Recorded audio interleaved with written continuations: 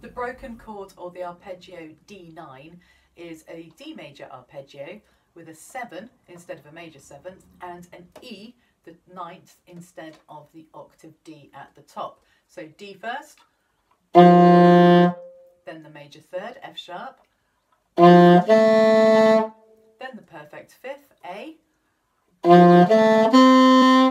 Now add the 7, which is C natural. Finally put E on the top.